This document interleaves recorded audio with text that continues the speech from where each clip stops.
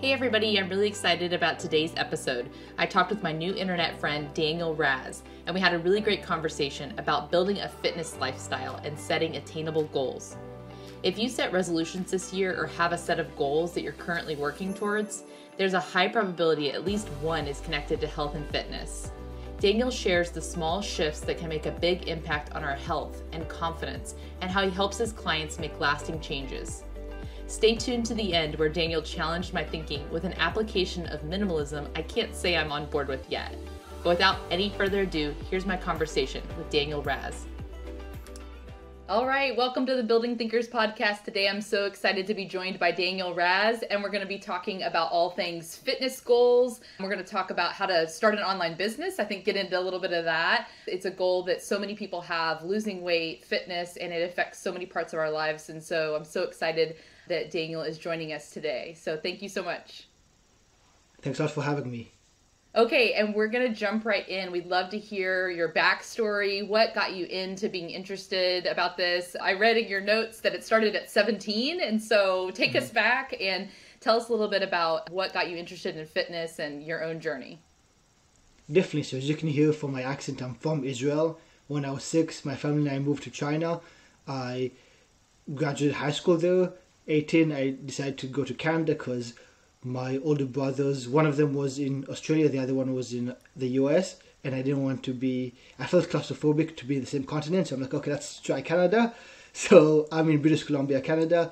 I went to school for, to university for exercise and nutrition, and even though all my classmates want to be physiotherapists after and I want to be a physiotherapist as well going into university after my second year or so, I decided I want to be a personal trainer.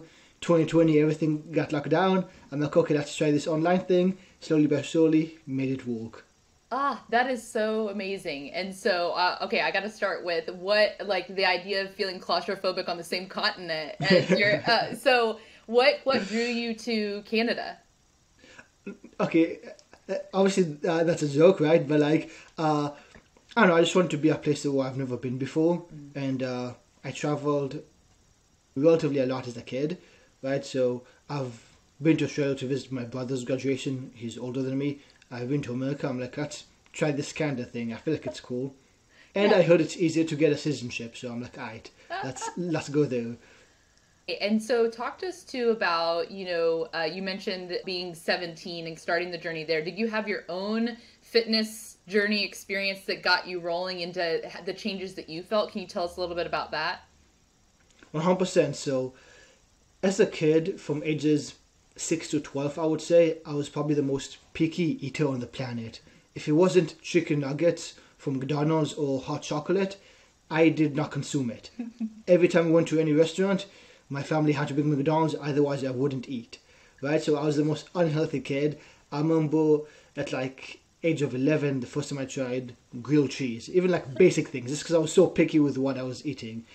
But around the age of 12, I started playing basketball and I wanted to be more competent. So my brother told me I should start eating healthier, which is pretty much any diet except what I did. So I slowly started educating myself, trying new foods, mm. and changing my taste buds, right? Because the funny thing is, what I used to eat, I don't enjoy it at all right now, right? Because your taste buds can change. So I'm a firm believer in that. So yes, around the age of 12, I started educating myself, trying to eat healthier. I played basketball. I got pretty good. I felt really confident on the basketball court, but I felt that skill didn't translate into everyday life. In social settings, if I went to the grocery store, just in everyday life, I still felt as if I was an insecure kid. But on the basketball court, I did feel really confident. And around the age of 17, I started taking walking out more seriously and I noticed that I felt more confident, not just in the gym, but everywhere I went. I felt like it mm. translated into everyday life because, unlike a basketball, I could carry my body with me everywhere I go. When I fit better into my clothes, when I have more energy on a daily basis, when I feel more focused at all times, everything just started getting better. So, I initially was debating between being a personal trainer or a physiotherapist, but I still went to school for physiotherapy but after my second year of university, I'm like, no, I want to be a personal trainer. And then when everything got locked down, I'm like, okay, let's try this online thing. And obviously, we can talk about this later, but faced through a lot of trial tribulations, made a lot of big risks, eventually was able to make it happen. Yes. Okay. I definitely do want to dig into that. But first, there was something that is very relevant in my household because we have a an eight year old and a five year old who may or may not uh, also be picky eaters. Maybe not to the extent that you just described, and we try a lot of different things. But talk to me about the taste buds. Do you know the science behind like any? What are what is your understanding? of how it works to change one's taste buds because I've read different things. I read somewhere that you have to try something 20 times before your taste buds really adjust, but that was a random internet search and so I don't know the validity of the study. So tell us your perception of this. Right, so just like with everything, your environment determines your destiny. The reason why I have a different accent than you is because my environment was different than where you grew up.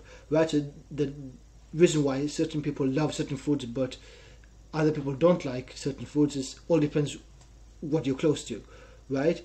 And because I, I was in China, I uh, after I was a kid, when I went there in 2004, I was pretty much the only non-Chinese person there, to the extent that I actually did modeling because they've never seen a white person in their life before, right? I was the only Westerner there. So it was either McDonald's or pure hardcore Chinese food. And Chinese food in China is different than American Chinese food. It's not Panda Express. It's very different, right? And as a kid, I just got used to McDonald's, right? I imagine if I went there when, like my brothers didn't have that problem because they went there when they were teenagers, right? Uh, so the only food that I feel like I could consume was fast food to begin with, right? But around the age of puberty, and I would tell you to uh, wait until your kids hit that age. Then I just started feeling hungry. I would just want to eat everything, and because I just want to eat everything, I tried new things. And there's so many things that I didn't know I liked until I tried it, even healthy things. So I actually tell this to my clients: the key to losing weight sustainably is to eat more of your favorite foods, not less. And the way you do that is once a month, try a new vegetable, try a new type of fish, try something that you've never tried before that's healthy because you might like it, and then you add it to your arsenal of healthy and tasty foods rather than keep subtracting of things that you really like. So it's about adding to your diet things you enjoy rather than subtracting things that you enjoy. Okay, so adding to your diet instead of subtracting, like adding, trying those new things and putting it in. Whereas lots of people think of a diet as what do I have to restrict? What do I have to take exactly. out? You're kind of flipping that around and saying, let's think about what you add in, and then you have more diversity of the foods that you're choosing. I love it. Let's think about one of the questions that I really like to ask is what do people either overcomplicate when it comes to losing weight and getting fit and sometimes the sentence stem is if only people knew and there might be multiple things here so let's just kind of hit one at a time but if only people knew what is one of the things that you see as those mindset shifts that your clients have that you help them with? So you just shared one about adding in instead of subtracting and but what else if only people knew when it comes to getting fit? Hmm, there's so many different ways i could take this but I'll say if only people knew that if they only focused on the easy wins, then they'll get tangible results and that will motivate them to do the more difficult things. So when people make New Year's resolutions, for example, they're like, okay, I'm going to cut out all my favorite foods. I'm going to go to the gym seven days a week. I'm like, yo, that's super difficult. That even for me, like that's that's a very harsh thing to do to yourself. That's a very big step. I bet the reason why most people quit is because they don't see tangible results. If you saw results week after week after week after week, you will want to put more effort. You will want to do the more difficult things. So the first thing I tell my clients is let's start with the easy wins. Let's start with things that don't take time, don't take effort, and move the needle in your favor. So for example, I can't snap my fingers and make it that there's 25 or 26 hours a day, allowing you to sleep for an extra hour or two. But what I can do is give you a few tips to improve your quality of your sleep and just with the knowledge you don't have to take any time no effort. And when you have higher quality sleep you feel more focused you have no more energy. It doesn't matter how busy you are you can always improve your quality. And your hormones are better you're able to lose fat and build muscle a lot easier. Another easy win is always have a water bottle within arm's reach at all times. Fantastic. I can see that. You practice what you preach as well. So so many times we think we're hungry, but we're actually dehydrated or we're bored. If you drink water, you won't. Not only will you not be nearly as hungry, you also will be more focused. You won't have headaches. You'll be more energized. You'll be able to not crash in the afternoon because that happens to a lot of people. Everything, so many things will improve if we just drink more water. That's such an easy win, right? Another example is if you're talking on your phone, you can sit down or you can take a walk, you can move around. You're talking on the phone anyways, might as well move. As you can see, I'm standing, I have a standing desk. I enjoy that, not just because of the calorie burn, it actually gives me more energy. I think quicker on my feet, right? Gives you more energy. Okay, so these these small wins. So I hear in this these tangible results. It kind of reminds me of some of the advice around finances, where it's like the snowball effect of if you start to pay mm-hmm. off certain small debts, it gives you that kind of dopamine effect of oh i did it and now i see i can do more. I hear that same concept of these small wins and then wanting more of that and realizing this kind of goes back to what you were saying about the basketball confidence. It's that confidence that we bring to say i can make a change and then you see the change occur and that the visibility of the change um, prompts you to keep going. And I love researching goal setting and productivity. I love Charles Duhigg's work on this, The Power of Habit. He has a model where he shows the trigger and the cue and kind of that habit cycle. And so he talks about lots of people want to get up and exercise first thing in the morning. And he talks about putting out your clothes ahead of time and putting on your shoes as the the cue to your brain that putting on my mm-hmm. workout shoes is gonna and just whatever you do get up and put on your shoes. Don't do anything else first. If that's part of the habit that you're trying to change what would you say in kind of response to that? Have you seen that that to play out for your clients or you approach it a different way? 100% you know how you see millionaires or billionaires say that if they were broke again they could get back to where they were in a couple of years? Because they have the skill set. I bet if you or me suddenly woke up yesterday and we were 400 pounds, obviously it will be extremely difficult, but we'll know for sure that we'll be able to get there. This because of the type of people that we are, the mindset, the fact that we know for a fact it's possible.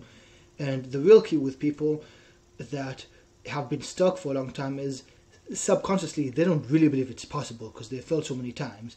And the reason they failed so many times is they focus on the things that are extremely difficult. But my suggestion is again, let's focus on the easy wins so you see the needle move in your favor and you see tangible results that will motivate you to take more action. Yeah. It makes me think about that mindset of growth and learning. And one of the other things that also is from Power of Habit, he talks about the domino effect and a keystone habit. And so for many people, it is fitness, it is health. Mm-hmm. And so when they make that adjustment, let's say they do start activity more, more exercise, and that becomes the keystone habit that starts to shift other things and they start to if they want to be drinking less they start not water other uh, some, yeah. uh, alcohol you know if they want to be doing less of that then when they start exercising they may drink less because it makes them feel better to you know get up in the morning and go. And they start going to bed earlier taking care of their body in other ways. And so what do you see as part of that like linking? When you are doing those small changes like drinking water optimizing your sleep how do you think that helps people get to some of the bigger weight loss goals as they get started? Is it just that is it that domino that you see that where they can do make bigger shifts over time? Or is it the small wins just stack up like compound interest that's an excellent question and the answer to that i would say is both right one of the definitions of confidence is firm trust and you have firm trust in yourself if you do what you say you're going to do. So every time that you walk out, every time that you eat healthy, every time that you drink water, every time that you get high quality sleep, every time that you say that you do what you say you're going to do, you keep the promises to yourself. And that will bring a lot of trust within you, allowing you to take more risks in other life. Let's say, hypothetically, I don't know, start a business. It's a lot easier to do that if you're like, okay, I went through this transformation, I know what I'm capable of, what else am I capable of in other areas? Because I remember where I started from and I, I know what I look like now, and everybody tells me it's amazing. I'm like, okay, if I can do that, what else can I do that's amazing? I know it's going to take a while, but I have a confidence in myself that even though it might not be easy, I can do this because I've overcome something that's so difficult for a lot of people. Oh, I love this. Okay, I've seen this to be true in my own entrepreneurial journey and in other areas And so I want to hit on and go a little deeper into this idea of the the trust in yourself. And so there's two different books on this front. I think I will use James Clear. He talks about that we don't we don't uh, rise to the level of our goals, but we fall to the level of our systems. And then he has a whole section in his book about saying I am the type of person who exercises in the morning. I am the type of person yeah. who one of the habits I'm building right now is I'm the type of person who puts my phone in the drawer from 5:30 to 8:30 p.m. to be with my kids. Like it is a very specific, it is tangible and by saying I'm the type of person who you are owning and then I think there's a connection here for that trusting yourself. When I do it more times and I'm the type of person that likes to mark it off. You see all my sticky notes back there. I like to check those things off and look at those habits over time to see until I've established one. And it does, it becomes easier and easier because I say, okay, yes, there's lots of stuff in my phone for work and relationships and things that are there that are calling for me, but it will still be there tomorrow morning. And so putting that in the drawer, and each time I've done that, I see this sense of, okay, I can make this adjustment. Now that comes after like many years of researching and digging into productivity and goals and changing things myself. Um, but I, I think what I want to say here is just I've seen that to be true both in research and in practice. And and then maybe I'm wondering, can you give us an example of either a client or for yourself one of those shifts, one of another small win maybe that led to a larger transformation? 100%. So every time my clients say anything that I feel like is detrimental to them, I'm like, whoa, whoa, let's stop right there. The way you speak, the way you think has a direct correlation to how you behave. If, for example, my clients say, I have a slow metabolism, I'm like, okay, that might be true, but why are you focusing on things that you can't control? Right? Only focus, only say things about yourself that will benefit you. So, I, yeah, I, again, I always have like 50 examples I can go through. Yes, yes. But bas- basically, in terms of mindset, I like to say it in a slightly different way than you just did, which is you don't rise to your inspira- to your aspirations, you fall to your standards. So you already have a certain standard for yourself. You already say, no matter what, I'm going to brush my teeth. No matter what happens, no matter what, I will be a kind person. Even though somebody might be rude to me, I'm not going to act violent. I have a certain standard to myself. So you can take the same standard to fitness. Even though I might be hungry, that doesn't mean I'm going to eat, right? I have a certain standard to myself that I don't always succumb to my cravings. Obviously, I'm not saying to never eat, right? I mean, not even saying not to never be violent. I'm saying there's a time and a place, right? But most of the times, you have to be rational about is this the best move to make? Is this an emotional decision or is this a rational decision? Right? And can you move that standard? Like, if you have that standard for yourself, can you raise the bar? 100%. When you were a kid, you didn't have a standard to brush your teeth every day. It got ingrained into you, right? You didn't always have the standard that you have for yourself.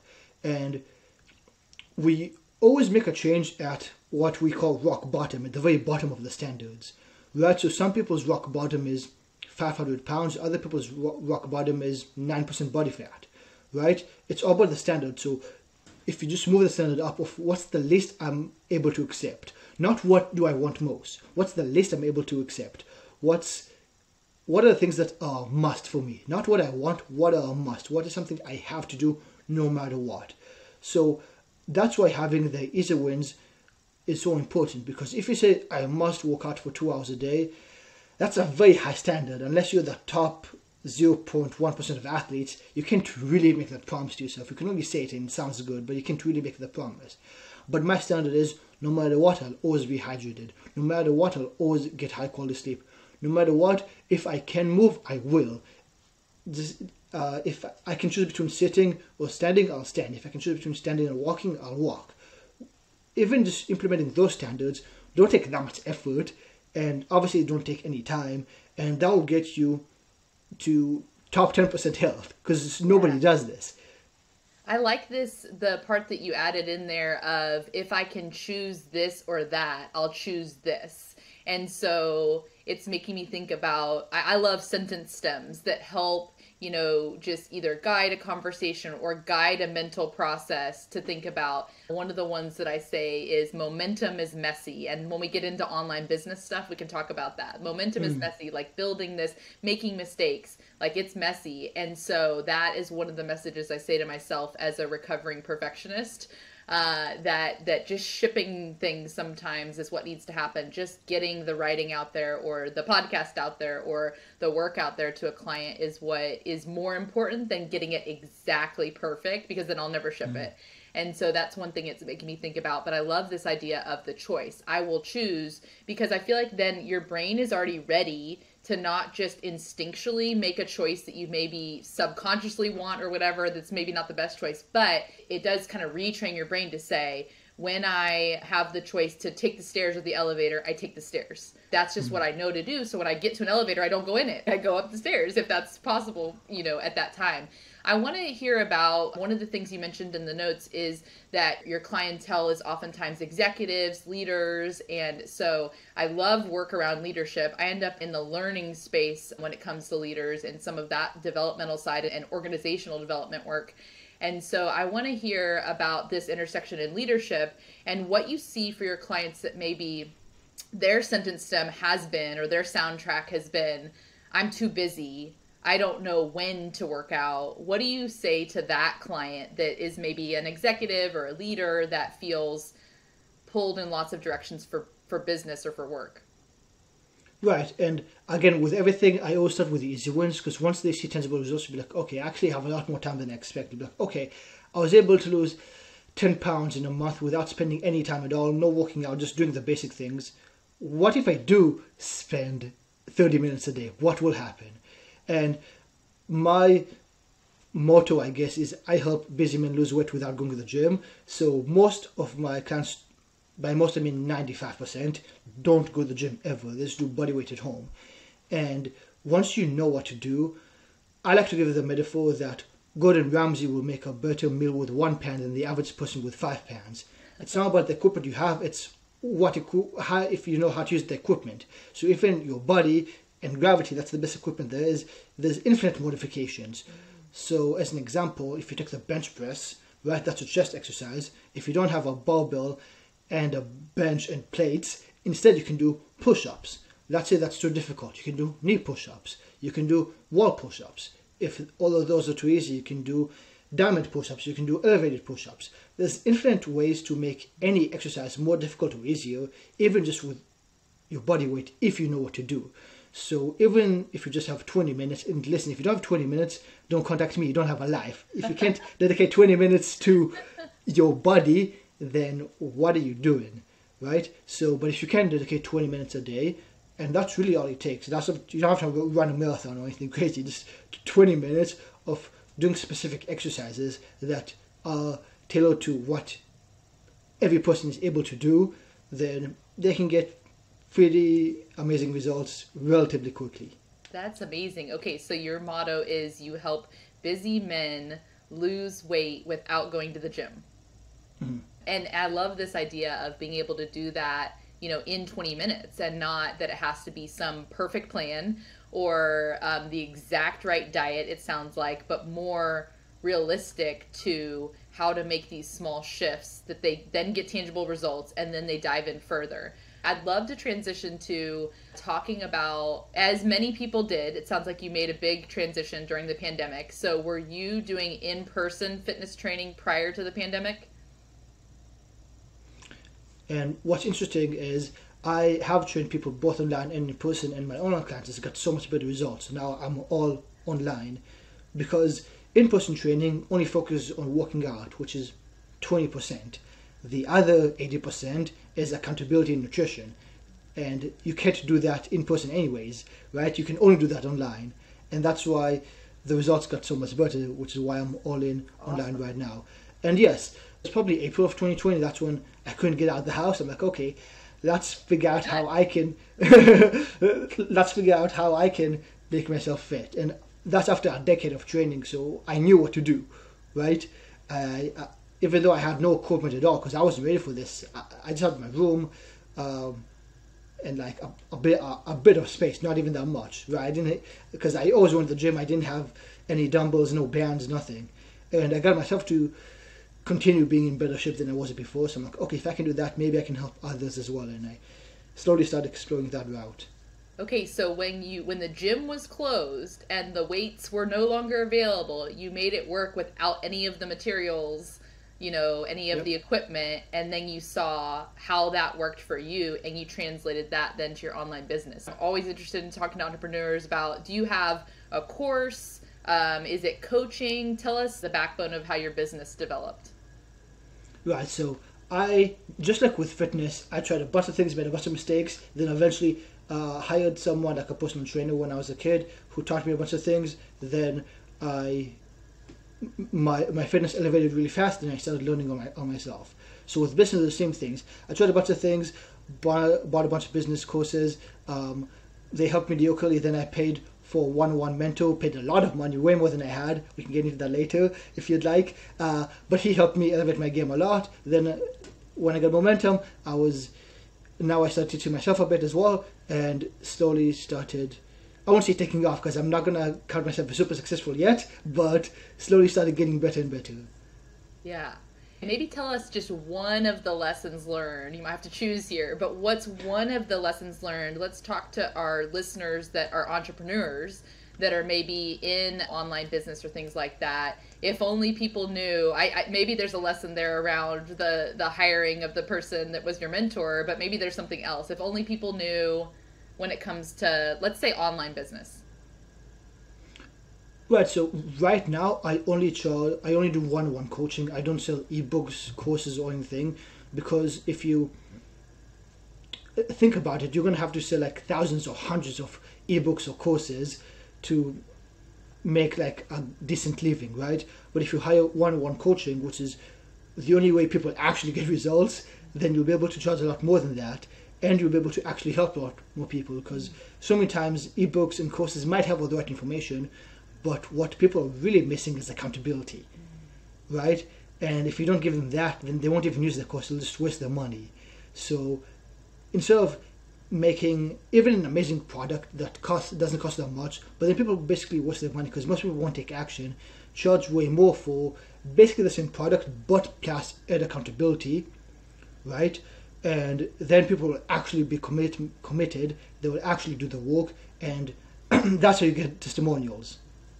Uh, I've seen that be true for certain industries for sure. And then I also see some people that do a combination of with their online course, a live component or a coaching component, yeah. or increasingly, again, depending on the content, not necessarily in fitness, but in other things where it is learning skills or information or practices, putting it into action. I've seen the rise of high quality communities. And I'm not talking about like a Facebook community that was slapped together and then everybody's trying to sell you something in there because I've seen that too but just really thoughtfully built communities. One of my new internet friends is Anamaria Dorgo, and she runs a community called L&D Shakers, and this is in the learning and development space, but it is a community that just she is nurtured so beautifully that people give hours of their time and resources and energy all for free in this community. And mm-hmm. it's just built this really nice collection where if somebody has a question hey i have a client that is looking for something on psychological safety. Does anybody know anybody? Instantly people get in there and they say here's a free resource. Here's somebody that that you can pay but that's awesome you know things like that. And so i have seen and i think that that is where some of that accountability in a community can come in where people are encouraging each other on. Maybe in the fitness world it's kind of after they hit a certain point. And to your point like when you worked with the mentor that got you up to a certain point and then you no longer need them because you have the knowledge and skills maybe it's that that community comes in for things like fitness after you reach a certain point of you know you've kind of got it going. But i'm kind of thinking out loud so i don't know if that's true or not. Yeah everything is you said is definitely super accurate. And even though i still have my own accountability group for fitness because if you don't have accountability, you're going to lose. Accountability is a game changer, right? Accountability is so important because even me, who I, I guess I would describe myself as disciplined, I don't like sending cold messages, but that's necessary, right? And even though that might seem annoying, and even though I might get some not so nice replies, every once in a while, my I get a, uh, somebody saying, "Oh my God, thank you so much for reaching out to you. I'm super excited to do this. You really changed my life. Without this, I don't know where I would be." Right? So sometimes you have to do things that you don't like for a reward that might only happen in six months from now. Yeah. And that's the same Yeah. true with fitness and business.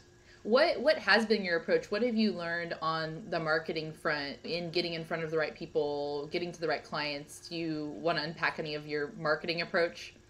Of course. So initially, I looked uh, before I paid for anything. I looked at what the most successful people did and tried to emulate that. And I thought that was super clever, right? People that have like Tony Horton, who has like millions of followers on Instagram, the P90X guy, right? Or Insanity, or people super successful like that, and try to sell like a course, make a course kind of like that. But I'm a nobody. I don't have millions of followers. Why would somebody buy a course from me and not anybody else? That's why the customized approach, the one-on-one approach, is so much better because anybody can do that, right? Nobody can sell my accountability. It's not something that's replaceable, right? So I would suggest that you make a high-ticket offer rather than a coaching program. If you have hundreds of thousands or millions of followers, then do that because you don't have time to allocate to other people. But if you're nobody starting from nothing, then you should sell a high-ticket program and try to help people one-on-one and actually hold them accountable, right? So for business, and actually it's actually odd because I never talk about this, I never talk about fitness, but it is still interesting. I still enjoy it, right? So basically, you have your uh, leads, the selling process, and then the actual offer, right? And obviously, if you don't, if your offer isn't good, if you're not good as a person, then you might make a lot of money initially, but it's gonna tank, right? And eventually, which is the point I am right now, is most of my clients are from referrals because what I do actually works, right? So from from a friend of a friend, right? But initially, you have to market yourself. So basically, I, I think everybody knows this, but you post content on social media that people find helpful. You give a lot of advice. Then people who like or follow you, you message them, be like, "Hey, are you interested in learning more?" If they are, get them on a call. Tell them about your program. If they're interested, sell them. Get them incredible results. Make sure that what you offer is valued way more than what they paid for. They feel really happy about that. They give you a testimonial. They give you a referral. Maybe they do both, and that's how you grow. Hmm. Love Sounds it. simple, right? But like, the, Yeah. obviously there are nuances. So that's the basic. Yeah. Okay, you can have a, a business side class in the future. Yeah. business But accountability. that, that's a that's a, a good point I want to touch on. There's some people that teach people how to make money, but they never made a lot of money from themselves. The mentor I bought was a millionaire from online fitness. Then he decided to become a business fitness mentor, right? But be very cautious of people that teach you how to make money, and the majority and all the money they make is teaching people how to make money. yes. right? There's I believe there's nothing. that. There's a lot of that. Obviously, there's nothing wrong with teaching people how to make money. I feel like it's amazing. I wouldn't be what I I am if nobody did that. But look for people that made their initial money from helping people with services, right? Not through teaching people how to make money. So, in entrepreneur life, as you're running your business, there's lots of different priorities and things that come. What are some of your favorite tips for your day to day life as an entrepreneur? Right, and I would say just like fitness, a lot of people want to hit a home run. They want to win the lottery. They want to do this extravagant thing. The truth is, there's a lot of boring work. A lot of things the same every day. Right, drinking water doesn't sound sexy, but it makes all the difference. Sending messages doesn't sound incredible, but it makes all the difference. That's how you help people. I think a pretty common saying in the marketing world is conversions happened in conversations. So if you don't talk to people, they would never know. Even though somebody might like you, might follow, might like your product, might follow you, might like your post. Sometimes if you don't reach out first, they won't do anything. And a lot of times, ah, reaching out to strangers, what if I get a bad response?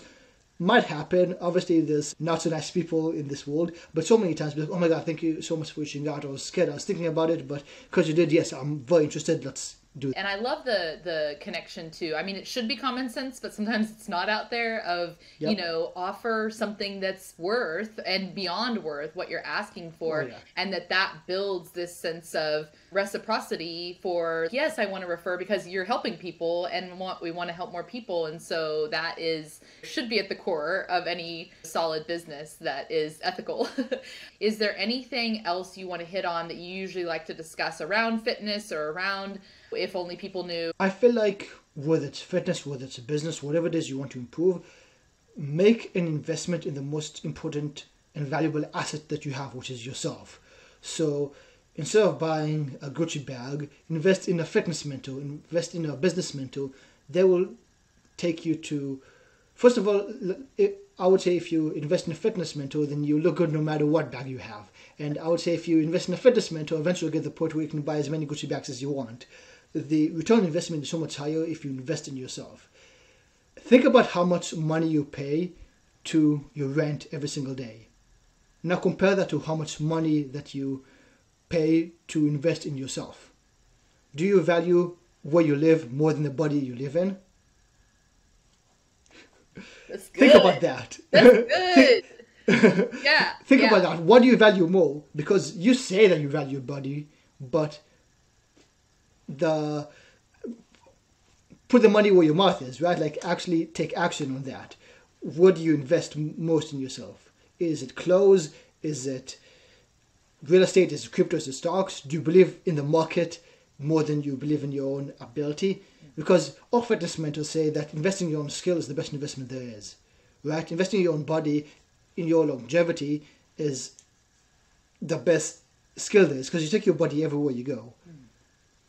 Okay, that that is making me think about one other thing that I want to hit on, and it's this. Um, how do I word it? This grind culture. This you got to do more, do more, and so sometimes people will um, ignore their body because they think they need to do more in work let's say or you know in parenting and all the things that are on our plates and it's like go go go go until you get sick until your body says literally you have to stop so what would you tell people on the front end that are maybe disciplined at work but are but are putting their body further behind you know is there anything else you'd say to that It's just a smarter investment because in the short run it might feel like you're being more productive if you neglect sleep, neglect eating healthy, all of that, neglect exercising.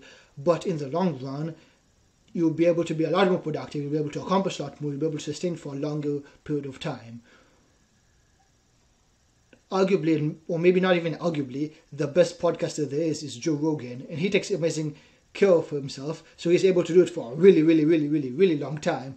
Do like four hour episodes a week for hours on end. He has 2,000 episodes.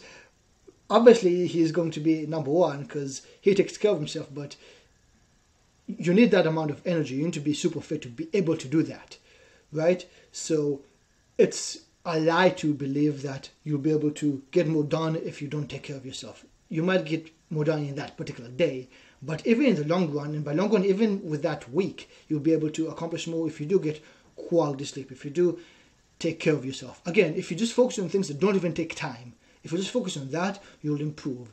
Now, if you are able to invest 20, 30 minutes a day into exercise, then, I mean, your productivity will go through the roof. Imagine if you never crashed in the afternoon. Imagine if you were always on top of it. Imagine if you didn't get tired in the middle of the day. You'll be able to. Imagine if you never got sick. Imagine if you were able to live 10 years longer at your prime. You'll be able to accomplish so much more. Daniel, will you tell us is there any um any recommendations? Are there any books that you like to recommend to your clients? Any other podcasts? Any courses? And then I want to make sure you tell us where we can find you. 100%. From everything you said, I can tell that you're extremely talented. You read a lot of books. You kept name dropping authors and books and all that. The only book that I've read multiple times is How to Win Friends and Influence People. And I believe that if you just read this book enough times, you'll master life. Right? You don't. Um, you don't need like 500 books. You need like five books. Read them over and over and over again. Well, that's what I hear the most successful people say. So I follow that advice. Uh, I Oh, my, my one bookshelves are think is really crying like. right now. My bookshelves are crying. I have more than five books. I mean, you'd rather have three close friends than 500 Facebook friends, right? It's That- I like me some books, but I, I get it. I get it. yeah, yeah. Uh, it, it definitely can help, right?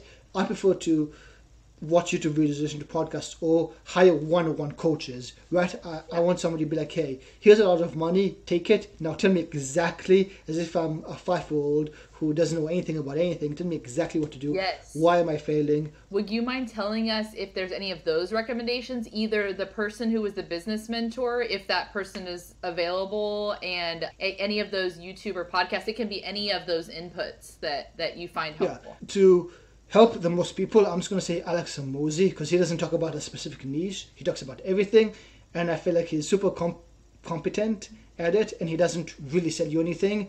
Right? He only sells people that have like millions of dollars of companies and want to take it to the next level. So for everyone that's below like three million, he doesn't sell anything, which is definitely the majority of people, including me.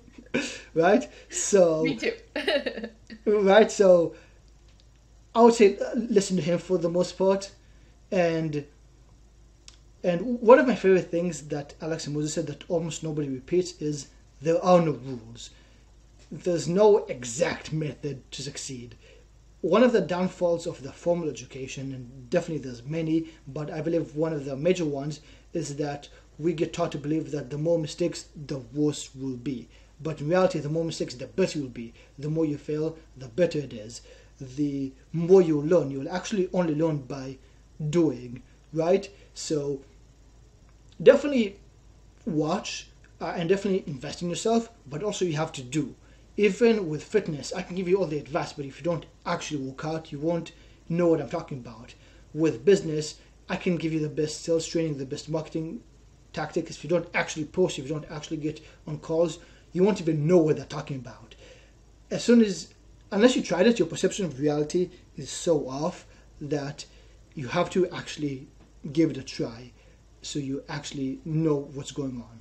Ah, that is wonderful advice. I love the there are no rules. I think as a former rule follower, I'm still uh, learning that and undoing some of the education that was specific to kind of don't make mistakes at least uh, on surface level do it right um, or you get kicked out of the ap math class if you like have a if you have a b minus this really happened to me i got kicked out of ap math in high school at an intense college preparatory school because i had like a low b it was almost a c and so they kicked me out I, I also took AP.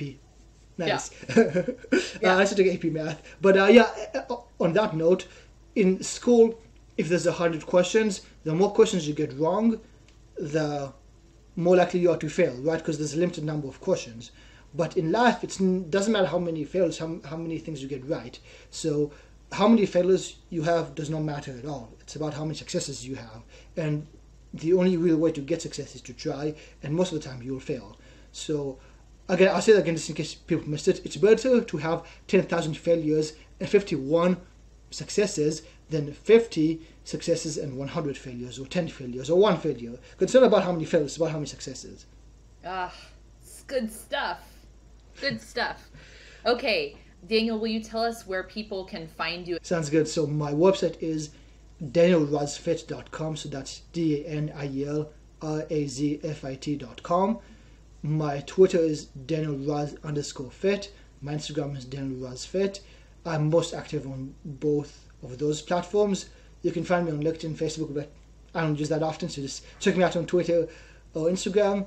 And I personally prefer Twitter more. It's like the platform more. So I'll definitely be there for a while. I might take a small stop from Instagram just because I want to really double down on what's working most. But still follow me on both. I post different content. Obviously, Twitter is just tweets. Instagram is mostly reels. So I would highly recommend you uh, follow me on both. And if you are serious about taking your health and fitness to the next level, especially if you are a busy man who wants to lose weight without going to the gym, message me and I can get on a call with you to see if and how I can help you. Awesome, Daniel. Thank you so much. This was so fun, and um, I look forward to it. What's been really fun about the podcast is I have new internet friends in lots of different places. So I am looking forward to just seeing your journey continue to grow with your online business and helping more of those men um, get fit uh, without going to the gym and uh, just the real life impact that that then has for them to be able to be maybe more present fathers, more present brothers, all sorts of things, more present bosses and employees. And so, thank you so much for your time, and it was so great to meet you. Thanks so much for listening to the Building Thinkers podcast. Don't forget to subscribe and share with your friends. And if you enjoyed what you heard, please leave a podcast rating and review. That helps more listeners find us in the world of podcasting algorithms. You can find out more about my learning and development strategy services at buildingthinkers.com. And remember, there's no limit to what you can learn.